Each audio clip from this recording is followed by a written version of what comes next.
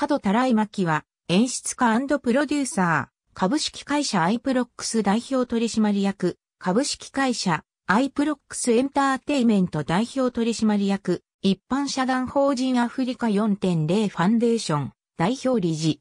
大学時代から劇団新感線に舞台監督として参加。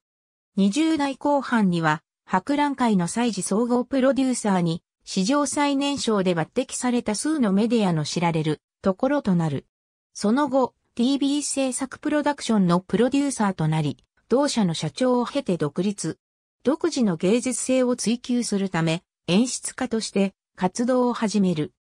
その豊富な経験は、海外からの招聘アーティストをはじめ、クラシックから演歌までの様々なジャンルの公演を手掛けるだけでなく、ファッションショー、スポーツイベントやエーペック世界会議に至るまでのあらゆるジャンルをこなせる数少ない演出家である。また、ユニバーサル・スタジオ・ジャパンとの契約演出家も経験し、彼が考案したアトラクションのキャラクターは、今や USJ のスペシャルイベントの集客を担うほどの人気者に成長している。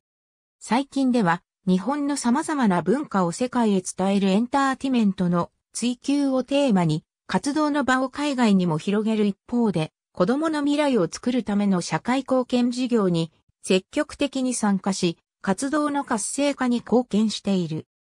世界共通スポーツを障害の有無に関わらず一緒に楽しむ考えを伝えるイベント、スポーツオブハートの総合演出や外務省アフリカ開発会議 TICAD 広報及びアフリカ支援の社会貢献にも力を注いでいる。2020年大阪テーマパークプロジェクトのプロデューサーとして立ち上げに参加。ありがとうございます。